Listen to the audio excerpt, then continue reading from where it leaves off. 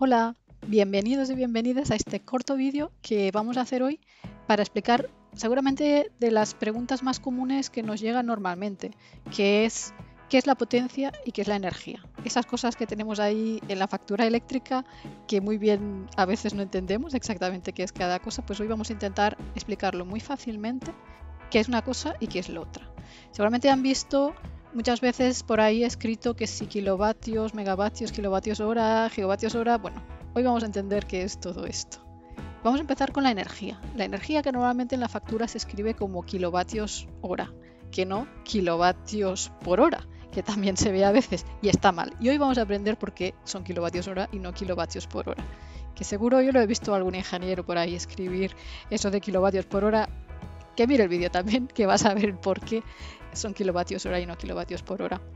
Y también vamos a intentar hacer un símil con el agua, porque ¿qué pasa? Muchas veces que pensamos en la energía eléctrica es una energía que los electrones son muy heteros, es una cosa muy abstracta y es difícil entender exactamente, tocarlos, no se pueden tocar, ¿no? Y, y, a veces es complicado entender por esa razón. Entonces, haciendo un símil con el agua, muchas veces se entiende mejor. Entonces, en la energía, es decir, los kilovatios hora, si fueran en vez de, electrones, fueran gotas de agua, pues los kilovatios hora serían como los litros de agua. Es decir, podemos pensar que si tenemos un aparato, por ejemplo, una lavavajillas, podemos decir, mira, en el mes pasado mi lavavajillas consumió tantos litros de agua y tantos kilovatios hora de energía eléctrica. La siguiente cosa que queremos explicar, y después explicaremos la relación entre las dos, es la potencia. Lo que en la factura eléctrica normalmente nos sale como kilovatios. Y seguramente también han visto otras veces que si vatios, que si megavatios. Eh, simplemente los prefijos de unidades físicas, pues lo que representan son si es más grande o más pequeño. Por ejemplo, un kilovatio eh, son mil vatios. Y dependiendo de lo grande o lo pequeño de lo que estamos hablando, pues tiene más sentido hablar de una cosa o la otra. Un megavatio son un millón de vatios. Si hablamos de la potencia de un bombillo, pues hablaremos de vatios. Pero si hablamos de la potencia contratada en una vivienda, hablamos de kilovatios. Y si hablamos de la potencia pico consumido en la isla de La Palma, pues son unos 40 megavatios. No vamos a decir 40 millones de vatios, sino que se usan diferentes unidades. Pero ahora entrando ya, la potencia. ¿Qué es la potencia haciendo con el símil del agua? Pues la potencia sería el caudal. Y una forma fácil de pensarlo es si pensamos que los cables eléctricos que entran a cada uno de los aparatos, imagínense que fuera una tubería con diferente grosor.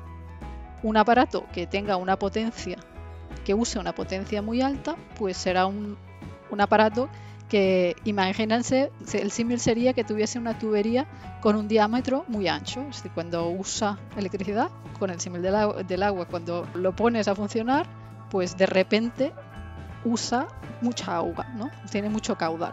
Entonces son aparatos con una potencia muy elevada. Lo mismo se puede pensar con una casa, ¿no? La potencia contratada de una casa lo podemos pensar como una potencia contratada baja, que normalmente baja es entre 1 o 2 kilovatios en una vivienda, es como si tuviera una tubería de entrada eh, con un diámetro muy pequeño y una potencia alta contratada, que normalmente podría ser 5 o más, es como si tuviera una tubería muy grande. ¿no? Entonces, ahora, la relación entre la potencia y la energía. Si cogemos un secador de pelo o un secador de ropa, que normalmente son aparatos que tienen una potencia muy elevada, pues vamos a imaginar, ¿no? Es como si el cable tuviera una tubería con diámetro muy ancho. Usan mucha energía en, poco tiempo. Pues aquí, y ahora vamos a entender el por qué decía antes de kilovatio hora, que no es kilovatio por hora, sino kilovatio hora, es porque se multiplica la potencia de ese aparato por el rato que lo estás usando. Es decir, por ejemplo, tenemos un secador de pelo que tiene un kilovatio de potencia y lo estás usando durante una hora, al final de ese uso habrá consumido un kilovatio hora ese secador de pelo.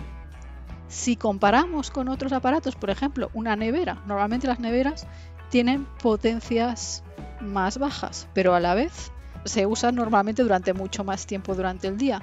En ese ejemplo, aquí tenemos una nevera que, imaginemos lo que, con el símil del agua, ¿no?